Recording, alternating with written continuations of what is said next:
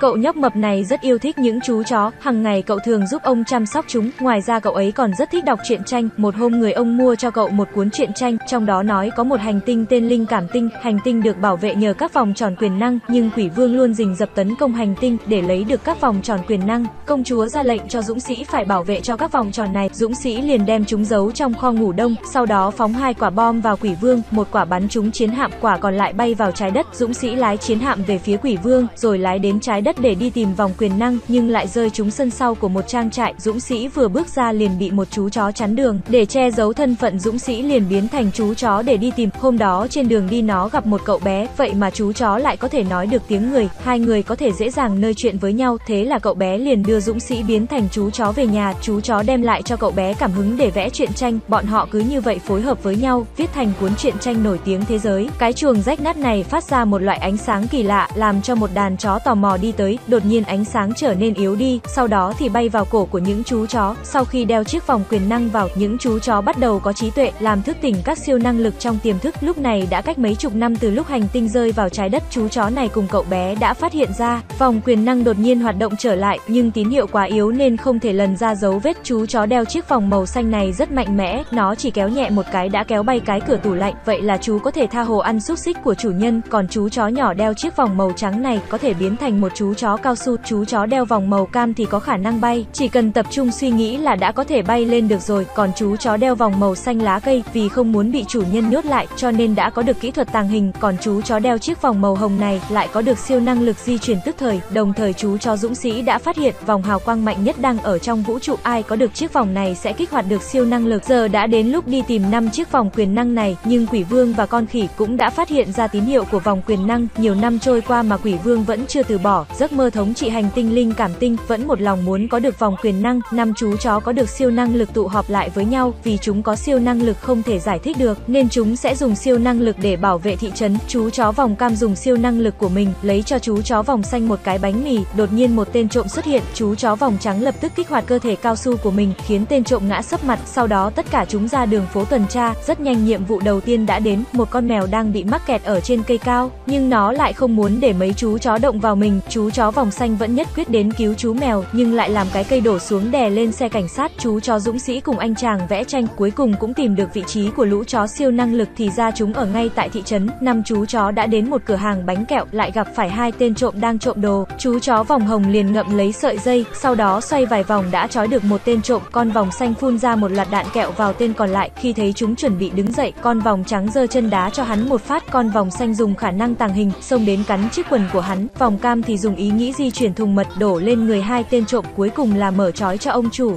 Xong việc chúng rời đi ngay tức khắc cảnh sát cũng đến bắt hai tên trộm, phóng viên nghe tin cũng tìm tới phỏng vấn, ông chủ nói có một đàn chó siêu anh hùng đã cứu ông, phóng viên nghe xong chỉ biết cười rồi rời đi. Hôm sau quỷ vương cùng con khỉ đã tới trái đất, chiếc phi thuyền hạ cánh xuống một chuồng lợn, đại quỷ vương liền nhập vào một con lợn. Con, ông chủ đi đến cho lợn ăn, bị phi thuyền và con lợn biết nói tiếng người dọa cho bỏ chạy, con lợn nhanh chóng cho phi thuyền tàng hình, sau đó con lợn leo lên một chiếc xe, cảnh sát nhìn thấy thấy mọi thứ lập tức bịt mắt lại, nhưng chú chó đã nhìn thấy con lợn lái xe, con lợn tưởng bức tượng là nhân viên phục vụ, còn gọi đồ ăn để cho đỡ đói, không thấy trả lời nó tức giận cho nổ bức tượng luôn. Việc này khiến con lợn bị một người phát hiện, hiện giờ con lợn đã lái xe tông vào cột nước cứu hỏa, cảnh sát nhanh chóng tới hiện trường, ông dùng sợi dây thừng nhanh chóng bắt được con lợn, mà cậu bé mập lúc này đã phát hiện ra chiếc phi thuyền, cậu chạm phải nút bấm nó liền hiện nguyên hình, cậu liền nhận ra đây là phi thuyền trong truyện tranh. Năm chú chó lúc này cũng tới hiện trường một vụ cháy, một bé gái bị mắc kẹt ở trên tầng, năm chú chó nhanh chóng xông vào văn nhà, cửa phòng nhanh chóng bị con vòng xanh đạp đổ, nhưng rất nhanh ngọn lửa đã lan tới chặn mất lối ra, trông bọn chúng có vẻ rất lo lắng. Trong lúc nguy cấp chú chó dũng sĩ đã xuất hiện, trước kia nó là thuyền trưởng cây nai, nên cây nai biết rõ cách sử dụng vòng quyền năng, rất nhanh chúng đã giải cứu được bé gái bị mắc kẹt. Cậu bé mập cùng các bạn về tới nhà, nhanh chóng dở cuốn truyện tranh ra, phát hiện phi thuyền đó hoàn toàn giống trong cuốn truyện, giờ chúng đã phát hiện năm chú đó, sau khi đeo vòng quyền năng liền có siêu năng lực khi con lợn bị đưa về đồn cảnh sát, nó liền đổi thân thể với cảnh sát trưởng, lũ trẻ vừa hay đi đến báo cáo về con tàu, quỷ vương không khách khí liền đòi vòng quyền năng, để năm chú chó có thể đối phó với quỷ vương, cây nai quyết định mở đợt huấn luyện cho bọn chúng, làm thế nào để có thể phát huy siêu năng lực, hiện giờ vòng quyền năng đã được kích hoạt, dũng sĩ có lấy được cũng không có tác dụng gì, nên chỉ có thể nhờ năm chú chó ngăn chặn quỷ vương, cuộc huấn luyện chính thức bắt đầu, trong số đó con vòng xanh dương là con thông minh nhất, nó không những làm bản thân tàng hình mà còn làm cho cả đồng đội của mình tàng hình nữa, chú chó vòng hồng kết hợp sức mạnh với sóng siêu âm, để làm tăng tốc độ một cách đáng sợ, con vòng xanh dương nhẹ một cái dã húc bay cái thùng sắt khiến mấy chú bò tót phải gọi là đại ca, siêu năng lực của chú chó vòng cam cũng rất mạnh, chỉ dùng suy nghĩ đã nhấc ba chú bò bay lên không trung.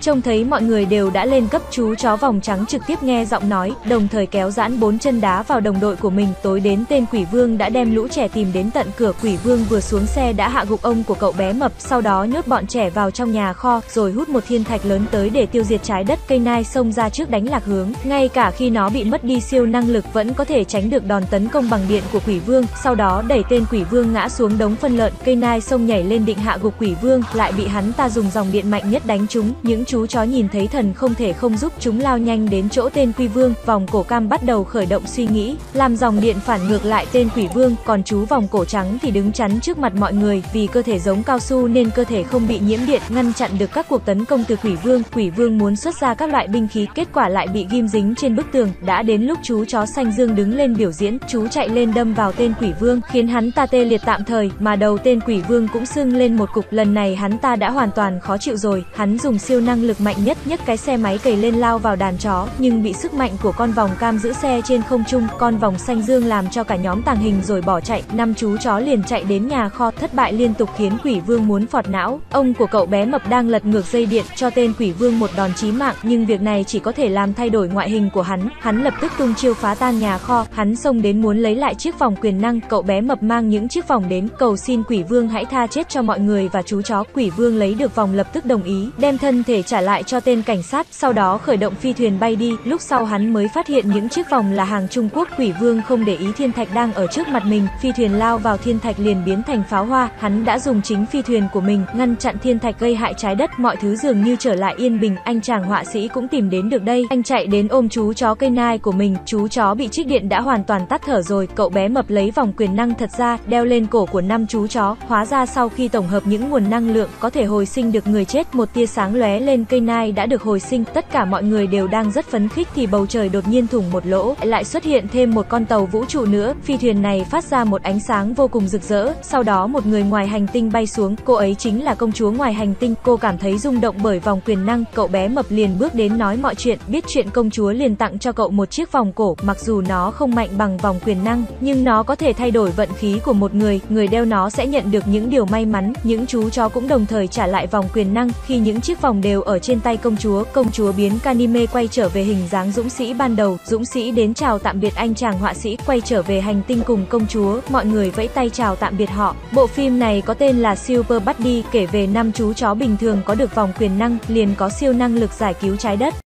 Bộ phim đến đây là kết thúc. Nếu các bạn thấy hay, hãy để lại ý kiến ở bên dưới phần bình luận để mình biết nhé. Và đừng quên đăng ký kênh để ủng hộ mình nha. Bye!